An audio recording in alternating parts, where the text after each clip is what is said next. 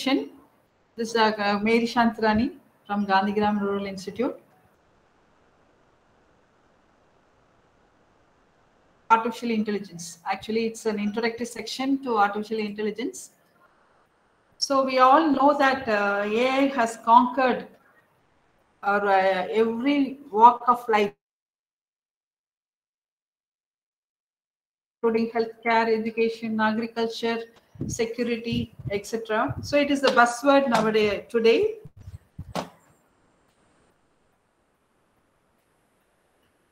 So not only uh, it, so the applications of AI is not restricted to a small subset. So its applications is uh, increasing is uh, because of its robustness and its abilities. It has a lot of potential to find solutions even to uh, complex problems. So uh, that led to the popularization of artificial intelligence. And nowadays, there are a lot of opportunities for data scientists and uh, analysts using artificial intelligence in all uh, MNCs. So that's dry, it, it remains the driving force of all applications, of all automated applications today. So uh, this session will focus on the basics of artificial intelligence. So actually, uh, I'm just I'll touch upon the key ideas behind the design of artificial neural network. So uh, my presentation will be organized in this uh, manner. That is, uh, first we'll talk about the evolution of artificial intelligence and then the applications. I'll start with machine learning and then uh, finally I'll end up with this uh, deep learning and AI.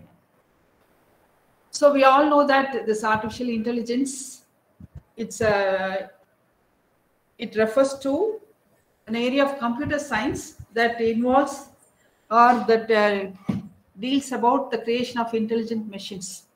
So it uh, includes the development of computer systems where it can perform tasks normally requiring human intelligence. Say, uh, for example, so uh, the question arises, so what kind of problems can be solved by artificial intelligence? So there is so much hype around artificial intelligence. So what are the types of problems? So how do you differentiate? How do you uh, decide which problems can be solved by artificial intelligence? So we can categorize the problems into two types. That is non-AI problem and AI problem. So non-AI problems normally be structured. So we know the structure of the problem and then the problem could be solved by writing a, a structured algorithm. So a simple algorithm is like finding the factorial, right? Or generating the Fibonacci sequence or just generating the payroll. So we know the exact procedure. So those are all structured algorithmic problems which uh, we call it as non-AI problems. So such uh, such uh, problems can be solved better using machines when compared to human beings. But there are some problems which are totally unstructured and unpredictable, unexpected, unanticipated, we can say. So for such unanticipated problems, it's very difficult to write a structured algorithm. So that is uh, the con we may write an algorithm for addressing one problem. So the problem may, may come in a different way. So we have uh, multiple ad hoc uh, possibilities. So such kind of problems can be easily solved by artificial intelligence. So such uh, problems are uh, so a problem can be uh, refer can be referred to the problems where that cannot be easily solved by human beings. Sorry, that cannot be easily solved by machines. So uh, the key features of AI problems would be there is no particular deterministic algorithm. Say, for example, if you are writing an algorithm to identify the spam emails. So we'll be analyzing the possibilities occurring at, at the up to this particular day. But who knows, the hackers may devise a new technique to send a spam email. So here the solutions or the possibilities are ad hoc. So they are unanticipated. So there is no deterministic algorithm. So they don't have a fixed solution and then it will be individual specific. Suppose now we are writing a you're writing an algorithm for a product recommendation. So the product recommendation for a cosmetic thing may not be similar to a car, may not be the same for a car recommendation or a movie recommendation. So it will be problem specific. So problem specific solutions will be better represented by artificial intelligence, solved by artificial intelligence. And then prediction problems based on past and existing patterns.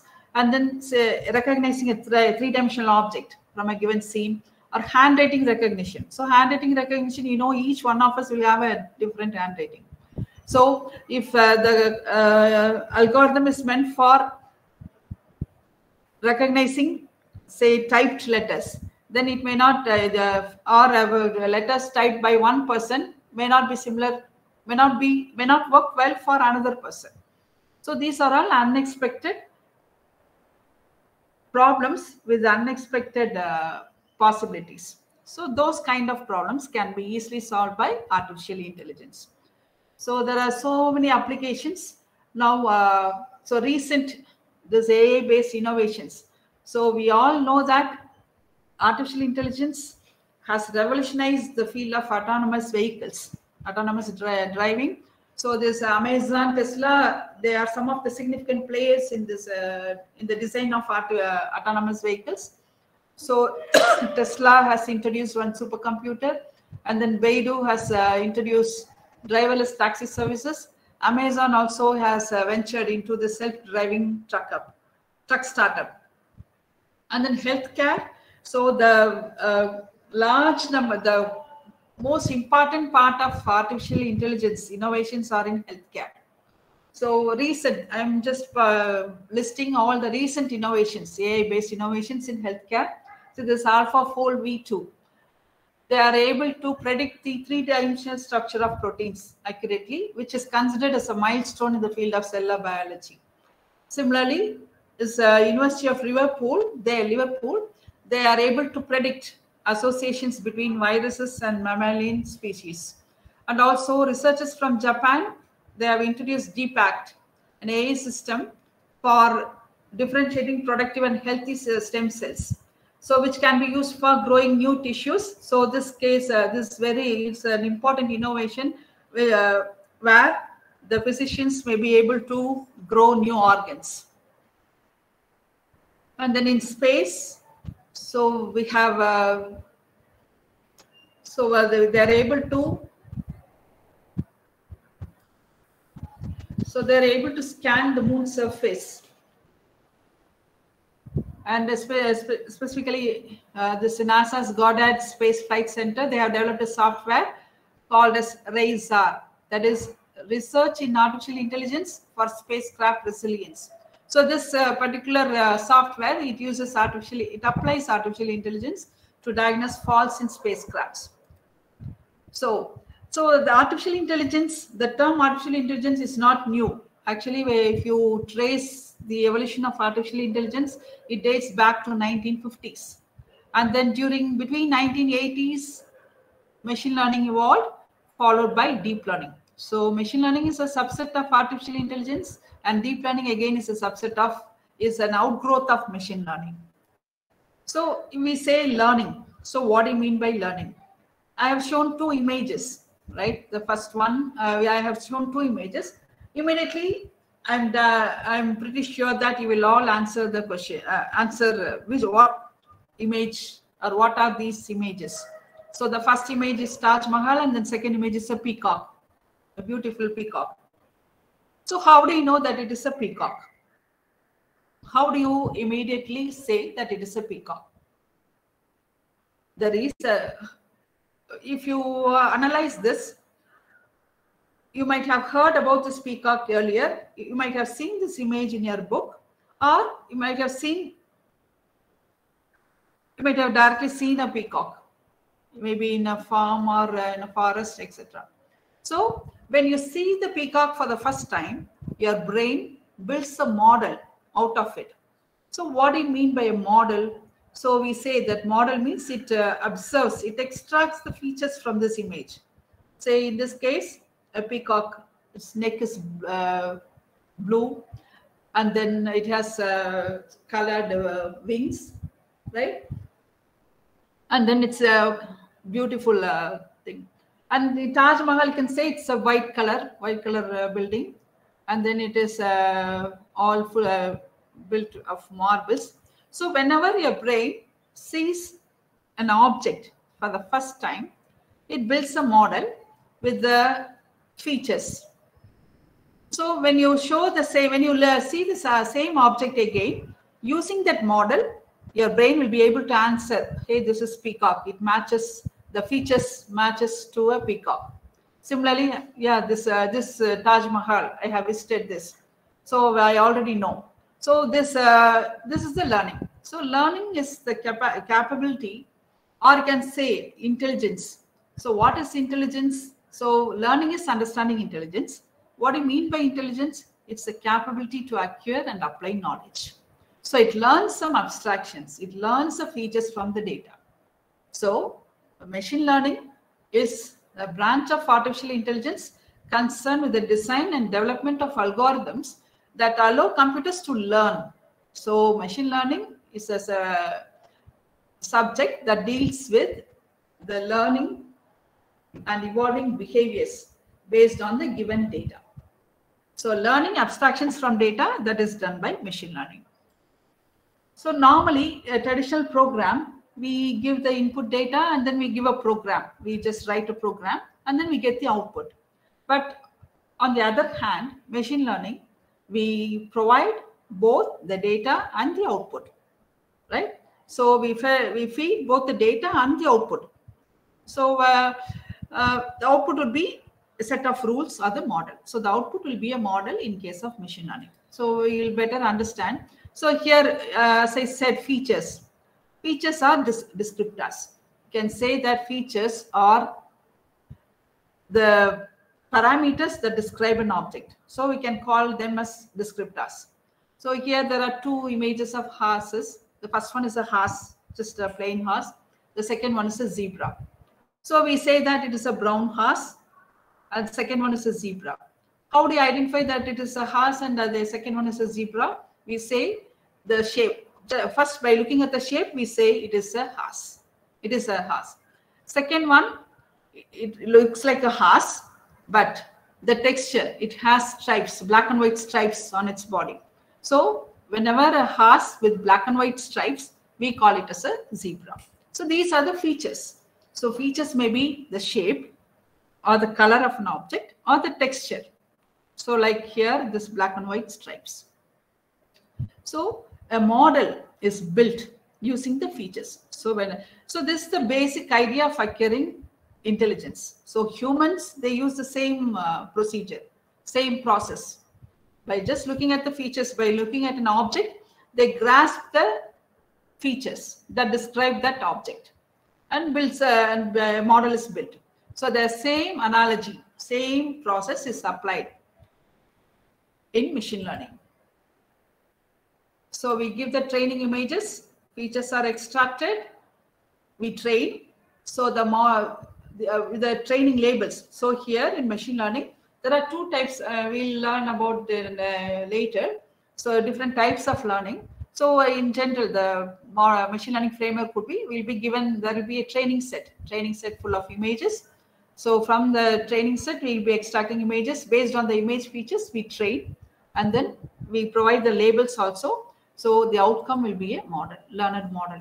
So now when you give a new image, so with the given data set, we have constructed a model and then you test the model with a test image. So from the test image, we extract the image features and then the learner model will predict that this is an apple. So this is the fundamental uh, process that uh, works out in any machine learning algorithm. So this machine learning framework can be expressed as a equation y is equal to f of x, x is the input, f is the prediction function, y is the output. So we know in case of supervised learning, we know both X and Y. So we'll be learning this F. So given a, a training set of labeled examples X1, Y1, we know this is a, for uh, the input X1, we get the output Y1. So we estimate the prediction function. See the output of any machine learning framework will be a prediction function. So this uh, uh, machine learning can be applied to any uh, data set. So in agriculture data set, if you apply in agriculture, you'll be given a set of uh, leaf images and the uh, disease. So this kind of image, this kind of leaf is affected by this kind of disease, right? So we give different kinds of uh, leaf uh, leaf images with different diseases. The model will be trained. Suppose if we give a new leaf image, immediately the model will predict that this particular leaf is affected by a particular disease. So uh, this is the basic idea. So it's uh, visually uh, represented by this prediction function. So we this f of apple will return that it is an apple and then tomato, etc. Normally we have different types of machine learning. So supervised learning, unsupervised learning, semi-supervised learning, reinforcement learning right? So uh, in supervised learning,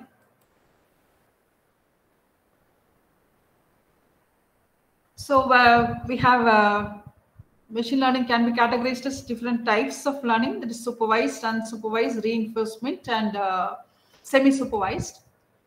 So supervised learning, if you see this image, a picture, so we know, so all similar objects, they are grouped here in supervised learning, we give the labels.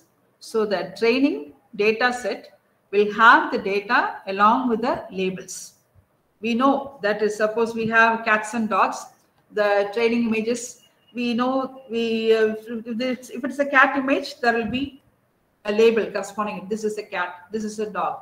So we provide both the data as well as the labels to the machine learning framework. Whereas in case of unsupervised learning, we, we have no prior idea about the data. So we have no, uh, we don't understand the properties of the data, but the learning algorithm will itself will uh, learn the inherent properties or the intrinsic properties of the data shared and then group them according to the similarity. So that is unsupervised learning. In semi-supervised learning, it is a mix of the training data set will have a mix of both uh, labeled data as well as unlabeled data. By labeled data, we mean images with their respective labels. Cat means that comes with a cat label. Dog image comes with a dog label. In addition to that, we'll be having some unlabeled data. So you may ask, what is the significance or what are the advantages of semi-supervised learning? Normally, label data are more expensive because given the data, we need to label, we need to annotate an image that it is a cat. So that annotation process is time consuming. So normally this labeled data will be expensive when compared to unlabeled data. So when you put a smaller amount, when you use a smaller amount of label data along with a large amount of uh, unlabeled data, we get the same result, but with a less cost. So that is the advantage of semi-supervised learning. So the uh, supervised learning, the training data is accomplished by labels. So uh, if you look at this machine learning framework for supervised learning, you could see the training data set, the data along with the labels is fed to the machine learning algorithm. The output will be a predictive model. When you give a new text or new uh, image with no label, the predictive model will give the expected label. So the supervised learning takes both the data as well as the labels as input. Normally, the supervised learning example, so where can apply uh, supervised learning? Normally, it's well suited for classification and numerical prediction process. So again, may uh, ask what is the difference between classification and numeric prediction? Normally, both uh, are based on supervised learning, but classification, they work on categorical data or discrete data. Numeric prediction, they use continuous data. So classification pro process predicts categorical class labels. What do you mean by categorical data? Like uh, say if you are given an image, we you classify it as a car, or say if you are cat, or dog, right? So the, we specify it is a cat, it is a dog, it is a car. So discrete labels.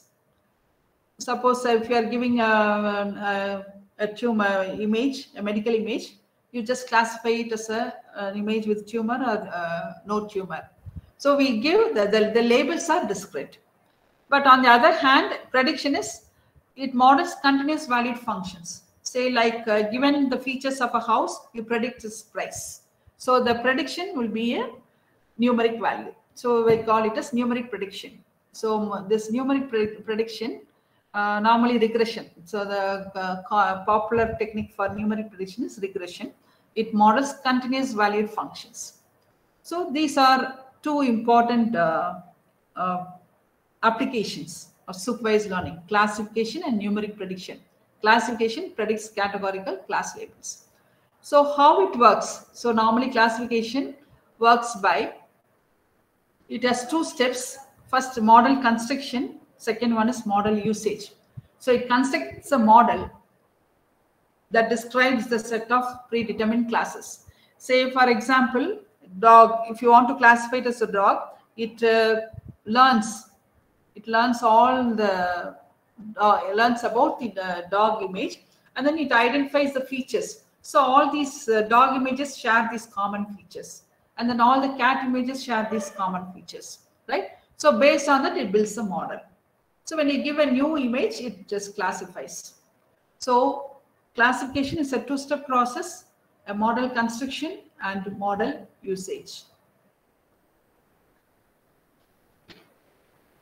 So uh, in a, any this uh, machine learning process, we divide the input data into two sets, training set and test data set.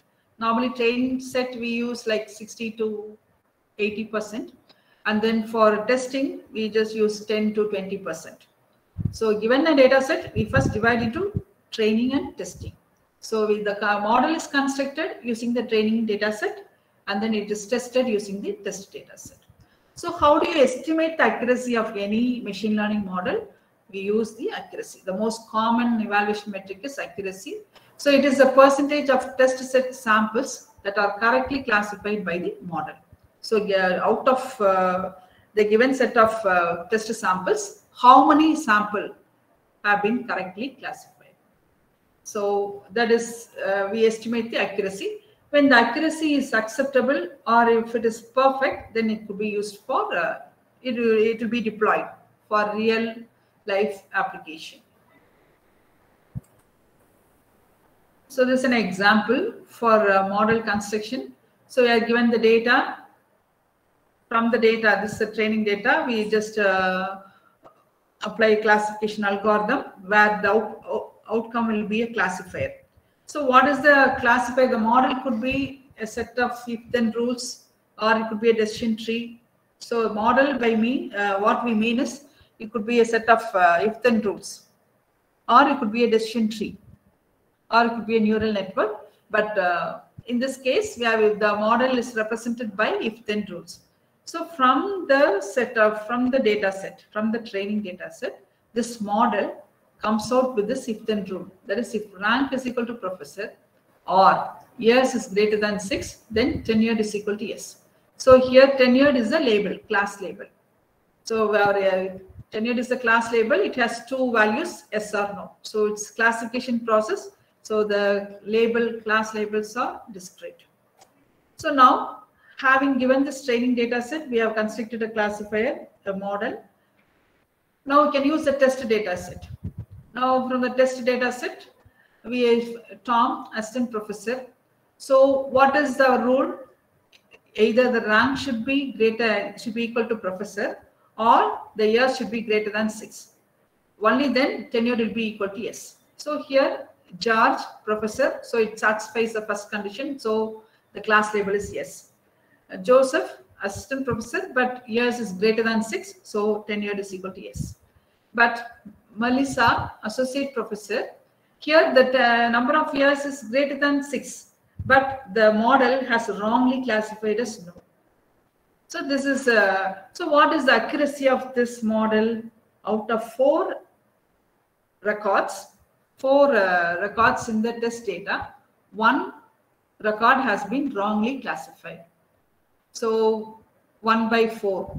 So the accuracy of this model is 80% because out of four uh, because only one has been wrongly classified. So this uh, accuracy of this uh, data model classifier is 80%.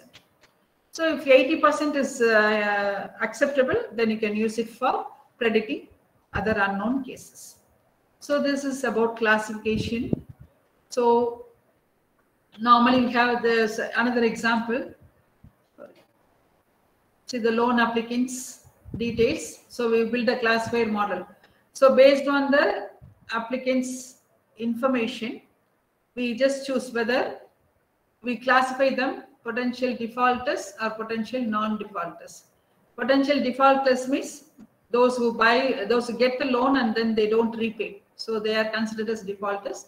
So this binary classifier model classify the given set of loan applicants based on the based on the characteristics shared by all the defaulters. So examples of supervised learning, it could be used for credit risk assessment, disease diagnosis, and then compressive strength prediction in construction, automatic steering wheel. Suppose we are given the images of the steering wheel, based on that, you can say how far the, based on the images in front of the car, the system, the automated system will decide how, how much degree the steering wheel should be turned. Unsupervised learning, it's learning what normally happens. There is no pre, there are no predefined labels, right? So it is a, it has no prior knowledge about the data. Just groups the data based on some similarity metrics. So this is unsupervised learning. Why do we say it is unsupervised learning? Because we don't provide any label. We don't say, given the cat images, we don't say that it is a cat or dog. We just give a set of mixed images. The algorithm itself finds groups based on the similarity. So normally this uh, unsupervised learning, so you could see the uh, framework, we don't provide the labels, class labels for the training data. So we just uh, give the training set and then features are extracted. Machine learning algorithm builds a model and then a new image or document given, it uh, finds the cluster ID. So this is unsupervised learning. Hope you understood the difference between supervised and unsupervised learning.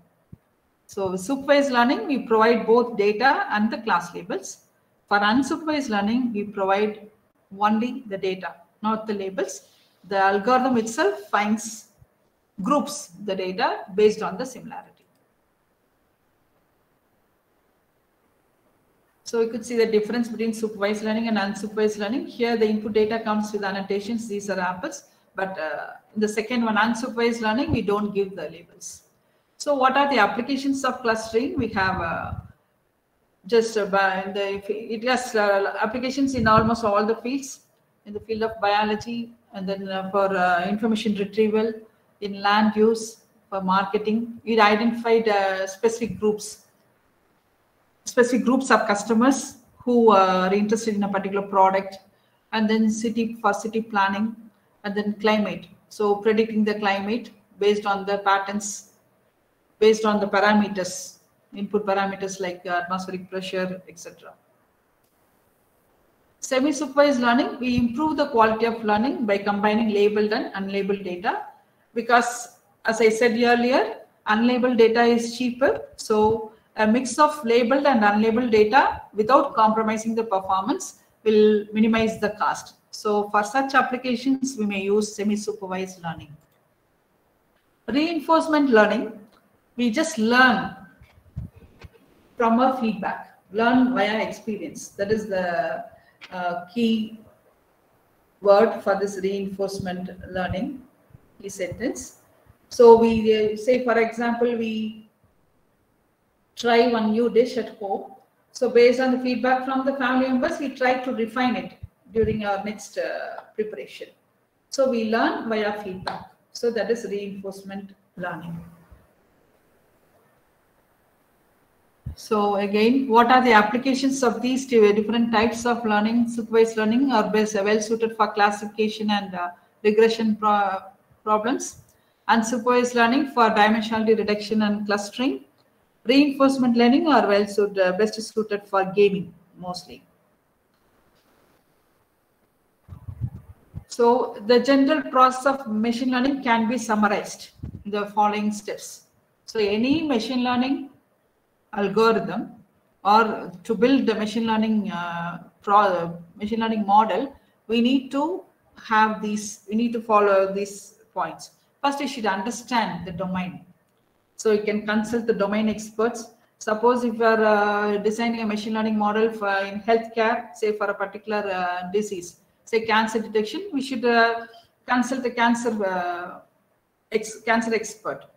So what, uh, how, what are the characters or what are the symptoms that identify a particular cancer? So we need to construct a domain.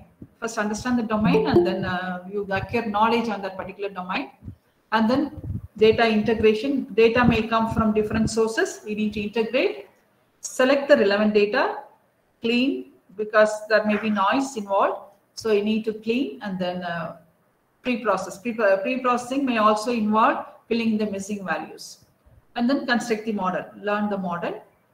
After constructing the model, you need to interpret and validate the results using standard metrics. Finally, when you are uh, satisfied with the performance of the model, you consolidate and deploy the discovered knowledge. So how do you represent the knowledge acquired using machine learning? So in the form of decision trees or set of if-then rules or in terms of graphical models or neural networks, support vector machines, etc. These are the various uh, ways of representing knowledge. Representing knowledge learned by a machine learning model. So these are the common evaluation metrics, accuracy, precision recall, squared error, entropy, and then this uh, KL divergence. So the process flow of any machine learning algorithm can be visualized or be uh, represented as a five process, get data, clean, train the model, test data, and then finally deploy. Now, what is deep learning? So today it's an, uh, this session focus on the two important uh, concepts of artificial intelligence, machine learning and deep learning. So far we discussed what is machine learning. Now what is deep learning? How does it differ from machine learning? So deep learning is a variant of machine learning. So it provides deeper insight into data. So how? By multiple hierarchical abstractions of data. So it uh, extracts, as I said earlier in machine learning, so acquiring intelligence, so or, or you can say learning. So learning is acquisition of intelligence. How does a model learn? From the abstractions of data. So here deep learning, it provides deeper insight. It gives deeper insight about the data. How? By multiple hierarchical, one by one. So it provides, uh, it learns data layer wise. So the first layer may learn only the lines. The second layer may identify corners. And then the third layer may learn some, uh, say, if you consider a face, just the parts of face. And then the final layer may say that it is a face, right? So each layer will learn something, uh, learn a part of the given image. So by learn uh, some features. So multiple hierarchical learning of features. That is deep learning.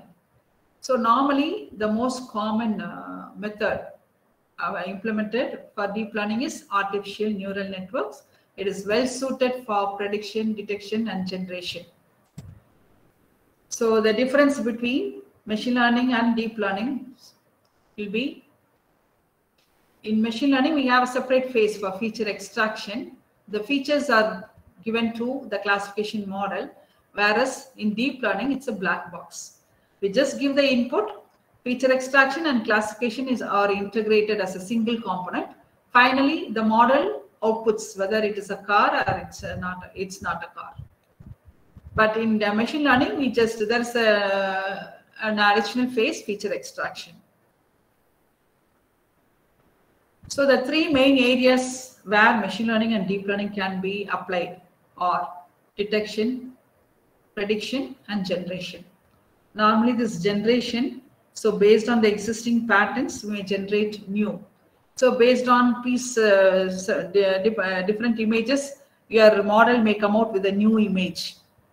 So normally in uh, English movies, they just generate new images for the characters. So that could be done with this generation. There are new networks now generated adversarial networks, generative uh, adversarial networks and variational autoencoders for this generation process. And then detection, here text and speech recognition. Suppose if you speak, your model will say that uh, you are speaking and what you are speaking. And then image interpretation, whether it is a face or whether it's a house or it's a car. And then human behavior. So your deep end, that's, that's where the potential of artificial intelligence lies. So just by looking at your face, you may ask uh, your uh, if you have a robot for that, it may ask why are you so sad? Why are you happy? Just by looking at your uh, face.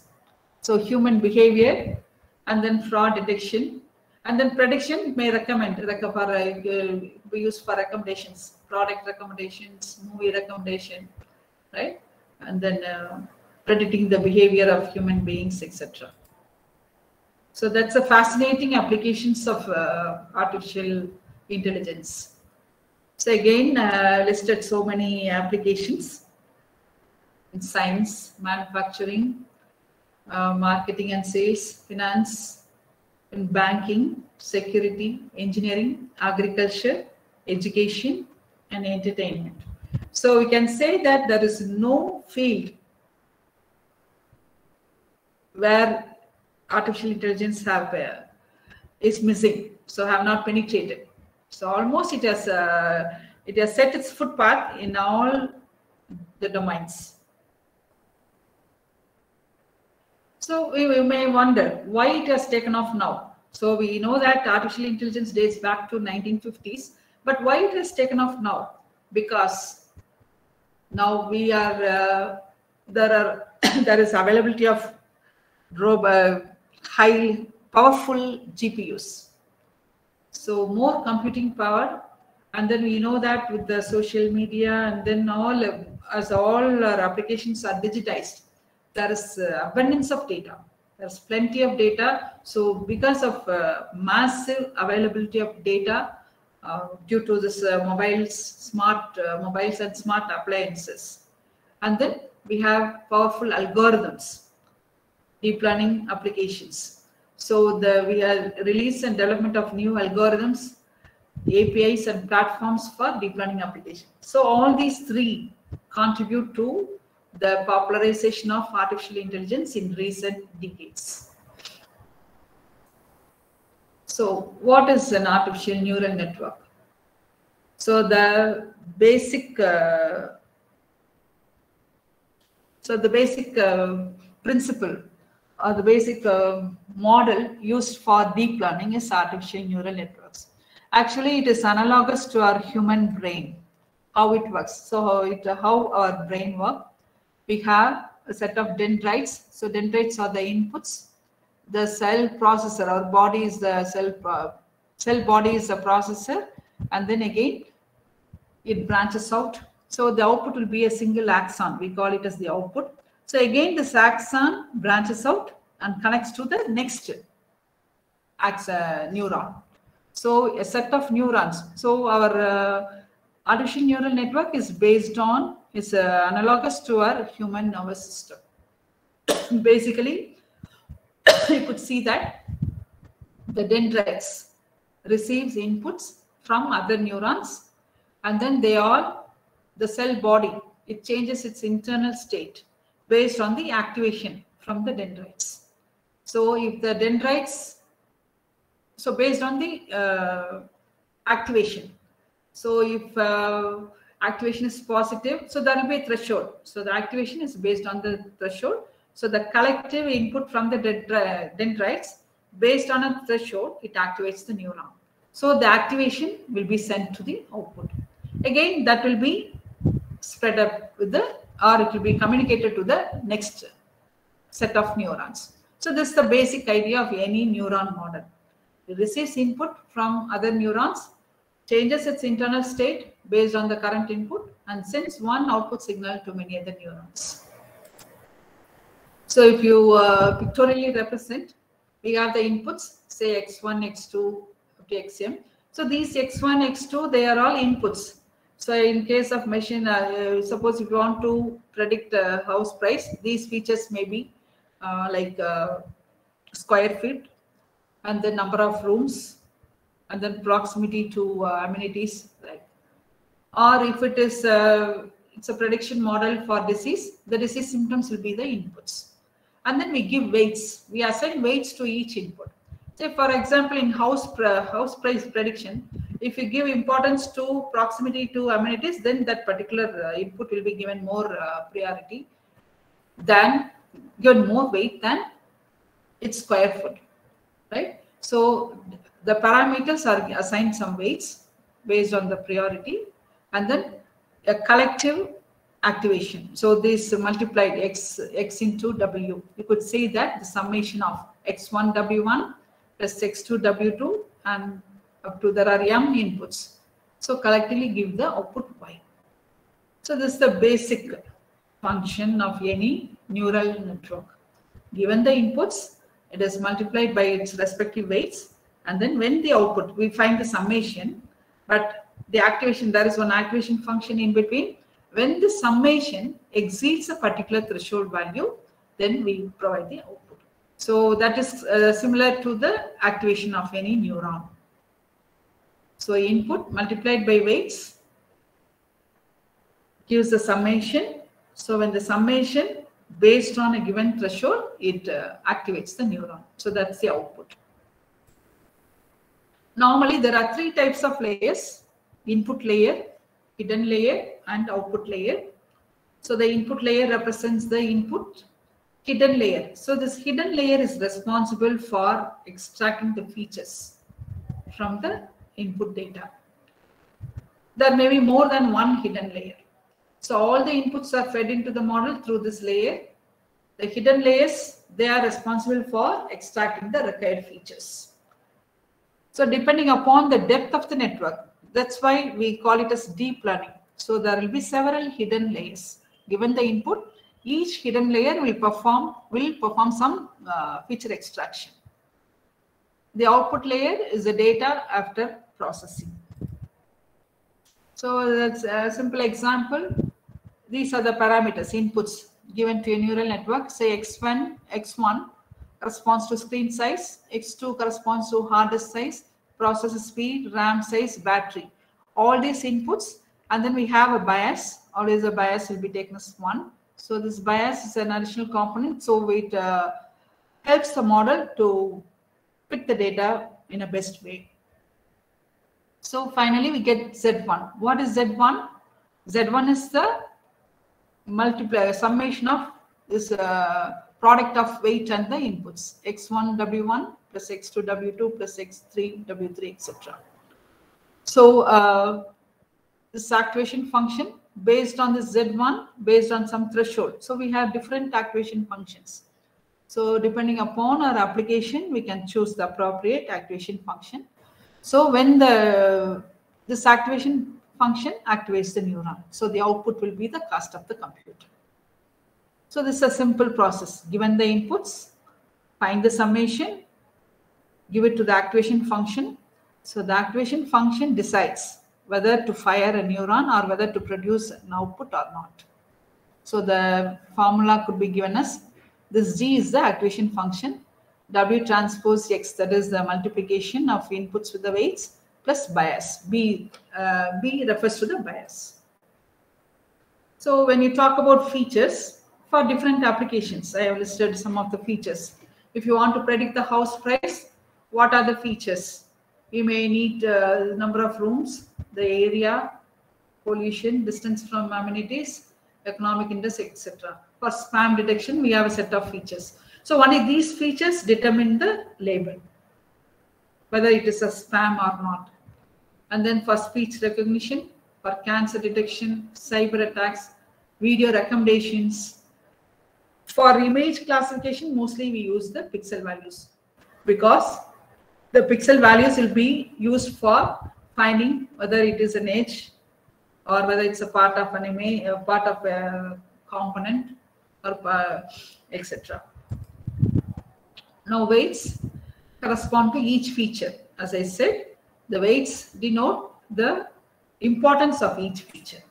How much that feature matters in the model. If you assign a higher weight to a particular feature means that is uh, more important in deciding the outcome of the model. And then we have bias. So in the formula, we uh, had a parameter B that stands for the bias. So the bias value allows the activation function to be shifted to the left or right to better fit the data. So eh, precisely the bias is used to, it helps the model to best fit the input data. So it could be tuned just like weights. You know that we, so actually the model, the performance of the model is improved or it's a, uh, is a, the performance of the model is uh, fine-tuned by changing the parameters, by fine-tuning the parameters like weights and biases. I told you if uh, the summation or the collective input to a neuron will be activated. When does it activate? So there are different activation functions. So activation function decides whether a neuron should be activated or not based on the weighted sum. So the formula is G of W transpose X plus B. So that's G is the activation function. Normally we have linear and nonlinear activation functions, but we if we use linear function, that will not give you any, that will not result in any learning. Because for a particular input, we know that for a particular value of x, the output will be, will be proportional to the value of x. But there are applications where the data is unstructured. So we need to learn the nonlinear relationship among the data. So for such applications, we need to use special activation functions. So without activation function, so what is the purpose of activation function in a neural network? It does the nonlinear transformation to the input. So that helps in learning and performing more complex tasks. So it will be, it will help in learning unstructured data relationships. Unstructured data or relationships among unstructured data like images, audio, video, text, etc. So these are some of the common activation functions used. Sigmoid function. Actually, sigmoid function, it gives you the output. It may it gives you either zero for binary classification. Sigmoid function is mostly used for uh, classification.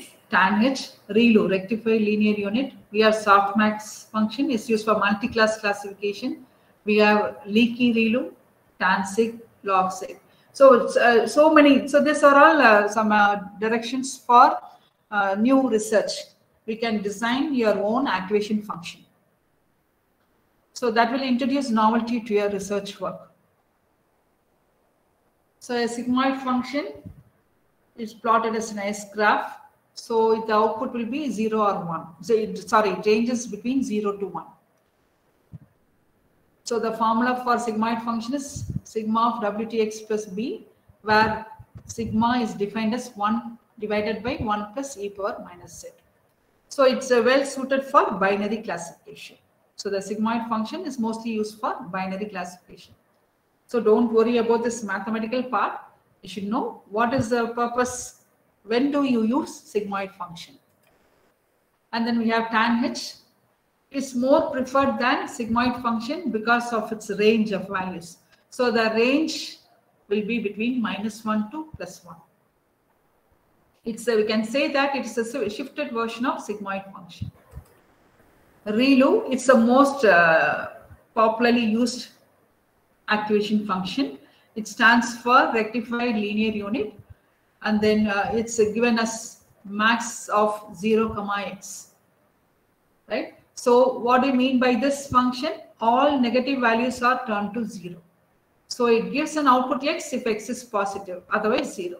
So all negative values are squashed to zero. So this ReLU learns much faster than sigmoid and other tanh functions.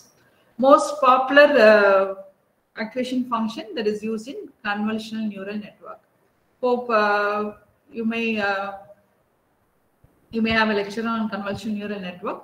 So they are well suited for image classification. So softmax function is also a type of sigmoid function and uh, used for classification problems. But here the softmax function can handle multiple classes. So it is used for multi-class classification. So it gives you the probabilities. Suppose if you give the cat image, say an image, it gives you the probability like uh, like uh, 0.1 percent to dog, it resembles dog, or 0.2 percent it resembles car, and then say 0.6 percentage it resembles a cat. So it assigns different probabilities to different classes so when uh, when you put a threshold, so when the probability is above 0.7, then that is a class label. So if we given the cat image, if its probability for cat is uh, more than 0.6, it is classified as 0.6, right? So this uh, softmax function is used for multi-class classification. If the number of classes is 2, then softmax reduces to logistic regression. Normally logistic regression, it gives either 0 or 1. It's used for binary prediction. So how does the how does a neural network learn? So it learns by trial and error. So given the inputs, you compute the uh, weighted sum, you pass it on through activation function, right? You compute the error, you propagate the error again to the inputs by fine tune uh, changing the weights. So this process continues until the error is minimized. So it's a continuous process of trial, processing an input to produce an output, evaluate, and then adjust the weights. So the error function is computed using this formula that is uh, derivative of the output minus the target value. So this is the actual output we get. Target is the so this is the uh, computed output. This is the actual output. Y target is the actual output. We find the difference, square difference, and then take a derivative. So the commonly used error function is the mean squared error function, which is given here. So we try to minimize the mean squared error each time. So this uh, iteratively we try until the mean squared error is uh, below a threshold. So the, all the green lines give, uh, show you the forward propagation, how the inputs are fed, uh, summation and then activated, activated. What is the final output? And then the difference between the final output and the actual output is measured, error is calculated, and then the error is propagated backwards. So back propagation adjusts the weights of neural network in order to minimize the network's total mean squared error. So this is how a neural network. So, so far we have discussed how a neural network works. So the, the basic principle of a neural network. Now we have a gradient. So normally the neural networks, they uh, come across this vanishing gradient problem. So what is a gradient? So a gradient measures how much the output of a function changes when you change the input. So this van uh, gradient will be uh, based on the gradient, we'll be adjusting the weights. So while adjusting the weights, we've uh, come across this vanishing gradient problem. So when the gradient becomes very small, then learning is also will be very less. So there should be a gradual learning of uh, gradual decrease in the gradients. So that is a problem of vanishing gradients we can uh, use ReLU function or some other uh, activation functions for eliminating this vanishing gradient problem. Another important thing uh, in a neural network, another important concept in a neural network is optimizing function. So optimizing function what is its, uh, sorry. Its function is to optimize the performance of the model. So optimizing functions are used to optimize the performance of the model. So we have several optimization techniques, gradient descent, traditional batch gradient descent, stochastic gradient descent. So the difference is, so gradient descent is used to do weight update based on, so, so that we minimize the loss function. So same gradient descent, traditional batch, what do we do is, we just calculate the gradient for batches. We divide the data set into several batches and then we calculate the gradient and then we'll be per, we calculate the gradient for different batches but update will be only once. In stochastic gradient, they performs they will uh, stochastic gradient descent perform parameter update for each training example. Only one performs one update at a time. So for every uh, every iteration, an update is made. So here it maintains a single learning rate for all weight updates. So that is the difference between traditional batch gradient and stochastic gradient descent. Here the weight update will be once, but in stochastic it will be performed one for every training sample. And then we have variants of gradient descent, mini, mini batch gradient descent, and then uh, it takes the best of both techniques. So here the update, so you could see two, two extremes. The traditional uh, gradient descent method, it works, it considers the whole data set as a single batch. So it will perform a weight update only once. In uh, the previous one, that is a traditional batch gradient descent. So it performs update only once. But in case of mini batch, we divide into several mini batches. It uh, performs an update for every batch with n training samples in each batch. ADAM is the most popular optimization algorithm. It's adaptive moment uh, algorithm. So uh, it, it maintains a learning rate for each weight. So normally a learning rate will be maintained for the entire model, but in adaptive moment, a learning rate is maintained for each weight. So this uh, helps in learning faster. So how do you construct, how do you decide on your network, neural network structure? We have two approaches. So the network structure decides, so uh, how do you decide the network structure? You have to choose the number of layers and neurons. So the number of layers and the number of neurons in each layer depend on the particular task. So we have we can follow two approaches, either start from a large network and successfully remove some neurons, or it's a top-down approach. The first one is the top-down approach. Second one is bottom-up approach. You begin with a small network. You begin with small uh, set of neurons and small uh, number of layers, and then slowly you add the complexity until you uh, reach the desired performance. So normally we have different types of neural networks. A simple perceptron, there is no hidden layer.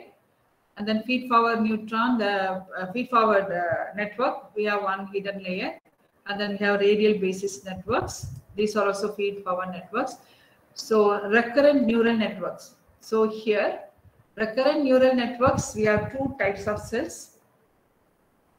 So here, the mostly it is used for uh, time series data for processing time for working on time series data, where here the each cell will memorize the previous uh, input. So that is uh, normally for uh, speech recognition, for natural language processing, recurrent neural networks are the best and then a variant of RNN, that is LSTM. It introduces an additional cell with three types of gates. So this LSTM networks can process video frames. So they can remember many video frames so that they can learn, they can uh, recognize a particular video. So normally this is used for video recognition. Given a video, you know that a video is a set of uh, frames, frame uh, sequence of frames So only if it remembers the previous frame, it will uh, can grasp what uh, what is the relevance, what is the relationship, or how what actually that uh, uh video is meant for. So that uh, for that we'll be using this LSTM and then GRU, gated recurrent unit. It has special uh, two types of gates, only two types of gates, update gates and reset gates. So the most popular network is convolutional neural network. It's a class of deep neural network. Why do you say it's a deep neural network? Because it has more number of uh, hidden layers and it also uses a special filter. You can otherwise call it as a kernel which extracts features. So there will be multiple kernels. Each kernel learns a particular type of feature. So all these features put together, finally, the network, convolutional neural network will be used for recogn object recognition or for classification. So if you consider this image recognition, the first layer may detect the gradient. You know what is the gradient? The sudden change in the intensity value or edges. The second line, second uh, layer may detect lines. The third layer may detect shapes finally the object. So convolutional neural network is the most popular type of neural network and it has wide variety of applications. So an example of a deep neural uh, network that is convolutional neural network, you could see the input layer image, we are giving an image. The first hidden layer detects edges, edges that is gradients. Second layer detect some shapes or line, uh, and then third layer, they detect the object itself. So the design issues and research prospects in artificial intelligence, we can try with initial weights because normally weights are chosen randomly. And then we have to choose the appropriate activation function and then how to estimate error how to adjust weights, and then how do you decide on the number of neurons based on your application? How do you represent data? Right? And then three important uh, problems, issues normally we face when you are designing your model. That is overfitting and underfitting. So overfitting is the model memorizes the data. Suppose if the training set size, uh, size of the training set is very low, the model memorizes the data so it gives better, good uh, prediction or recognition only for those data. If we give a new data, it may not be able to identify correctly. So that is uh, overfitting. So if for uh, avoiding overfitting, you need to increase the training set. So uh, low training set error. So actually overfitting will be low training set error and high test set error because the model is trained only to the training set as the training set size is low. Underfitting is high training set error, but high both both errors are high. So this underfitting is a very uh, crucial problem that should not be uh, faced by any model. Good fit is low training set error, low test set error. So we have very uh, several popular networks. LeNet, it was it was the first network designed in uh, created in 1990 followed by AlexNet, ZFNet, GoogleNet, etc., ResNet, Inception, V3 model, and MobileNet. Now we have UNet, VNet. There are so many models now in the market. So what are the applications of artificial intelligence? We have, it could be very, well applied in image, image classification, that is a car or not. Classification with localization. Car, we say that it is a car and it is located. So using bounding rectangles. Detection, we detect multiple cars in the same image. Not one single car. Here it detects multiple objects. So these are several examples. Artificial intelligence can be used for a product recommendation system, book recommendation, right? So what are the essential tool, tools where, uh, so uh, GitHub is the is the best uh, repository of all uh, tools, algorithms, etc. So, uh, to if anyone want, wants to start your AI research, just visit the first thing to do is to visit GitHub. So uh, all uh, machine learning and deep learning algorithms can be very well developed using Python, Jupyter notebooks. We have special utilities, special library files for uh, numeric calculations, for handling data structures and plotting graphs, etc. So these are the repositories where you can find the data sets for UCI ML repository, Kaggle, Mendeley, etc. And then these are the frameworks that you can use for uh, developing uh, machine learning and deep learning applications. So these are the references. So the, today's takeaways from this lecture, or you have an, an overview of uh, machine learning and deep learning networks and their applications. So thank you. If you have any questions, you can ask.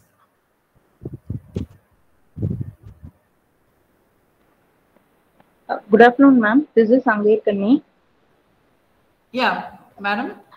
Uh, ma'am, when we do multi-layer perceptron, uh, in hidden layer we can do uh, pre-processing, feature selection, classification. Is it possible in hidden layer, ma'am? Yes, actually, the purpose of using hidden layers is for feature extraction. Can we do pre-processing or classification in the hidden layer, ma'am? No, actually, uh, when you are using a neural network, we cannot modify the hidden layers. So that is a black box concept. Once you give the input, you get the output. But now a new field is emerging. Did you uh, listen to the first talk, madam? Um, later on only I joined, ma'am. Oh, that's an interesting uh, lecture. So recently we uh, go for explainable AI. Okay. Explainable AI, where we just uh, the model. So here we just feed the inputs, you get the output, but we don't know what happens inside the network. But that explainability is uh, incorporated nowadays in explainable AI. So why the model has resulted? Why the model has given this particular decision? So uh, we just uh, through the layers. So the number of hidden layers that could be decided based on your application. So each hidden layer performs a particular uh, feature extraction. Okay. The number of nodes, uh, how we decide uh, number of nodes in the layer, ma'am? So that is the research uh, topic. So the number of nodes, see if you have uh, each network. So I listed my, some networks, right? Like say as uh, ResNet, uh, Inception Net, etc., UNet, VNet, etc. They have a pre-designed number of nodes and uh, layers. So each network has the, the has their own set of layers and uh, neurons. But if you want to do novelty, you can try to change the number of neurons and then change the number of layers. That is also a, a good uh, research direction. Okay. Thank you, ma'am. Thank you, ma'am.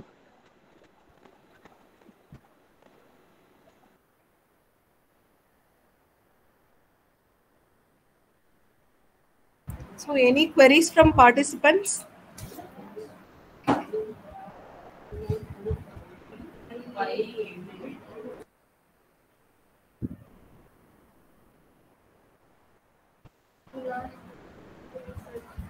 So thank you, ma'am, for your wonderful deliverable presentation. ma'am.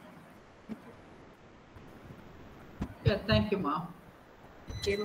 So participants, you can assemble assemble at uh, 2 p.m. for the third session.